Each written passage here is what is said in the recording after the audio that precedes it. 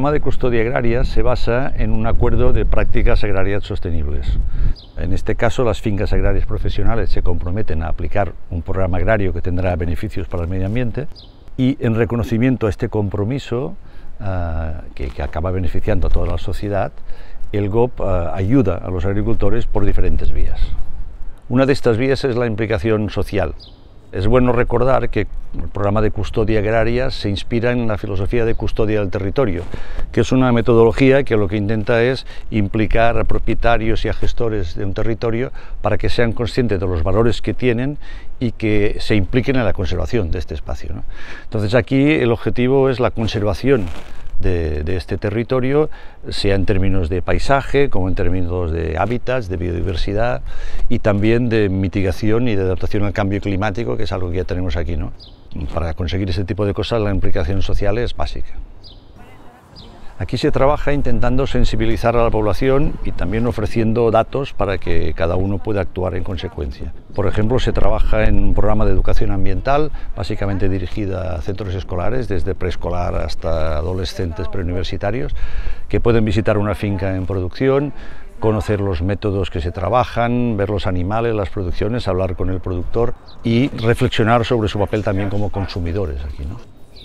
También se trabaja con adultos, básicamente en un programa de excursiones que se visitan fincas y también se pueden observar en directo todos los sistemas que se usan para producir, para ver cuáles son los métodos, para interactuar con el productor, para saber dónde se pueden comprar los productos, para degustarlos. Y también se trabaja en otra línea que es la de procurar conseguir datos cuantitativos. En este sentido estamos trabajando en el cálculo de huella ecológica de los diferentes productos, para poder dar esa información al consumidor y posicionar este producto adecuadamente en un mercado que tenga sensibilidad para los retos ambientales que tenemos al frente. La segunda línea de acción directa está más enfocada al voluntariado. De hecho, organizamos diferentes tipos de voluntariado. Por un lado, organizamos una jornada mensual, en la que ayudamos a una finca en una tarea en concreto. Así, en una mañana de domingo, con un grupo de personas voluntarias se consigue hacer lo que al agricultor o a la agricultora le hubiera supuesto muchos días de trabajo.